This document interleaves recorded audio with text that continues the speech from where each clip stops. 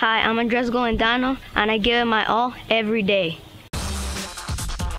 I'm from Caracas, Venezuela. I lived here in the United States for three years. I know what it takes to be a champion, and I'm determined to get there. I train hard, and I train hard every day. When I run, I run hard. When I swim, I swim like there's no tomorrow. And when I do my drill, I'm so focused mentally, I don't even hear my surroundings. When I'm out on the court, it's only me and the ball, and don't get in my way. I'm hungry for success. To be a champion, it takes more than practice. It takes perfect practice.